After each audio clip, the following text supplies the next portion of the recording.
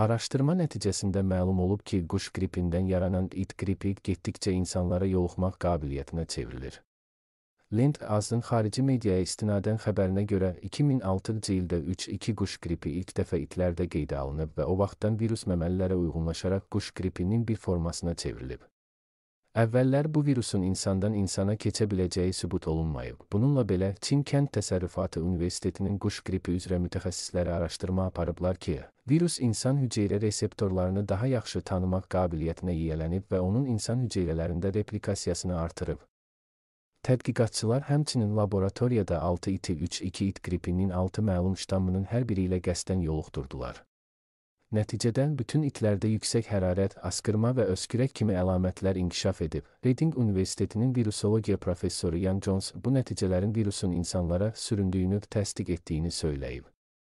O hesab edir ki, hazırki mutasiyalar səbəbindən it qripi virusu insanlara yoluxa bilər, lakin hazırda bununla bağlı heç bir dəlil və ya qeydə alınmış hal yoxdur. Tədqiqatın müəllifləri xəbərdarlıq ediblər ki, insanların 3 qrip virusu ailəsinə qarşı immuniteti yoxdur və qrip ştamlarına qarşı peyvəndlər nəticəsində yaranan antitellər it qripinə qarşı işləməyəcək.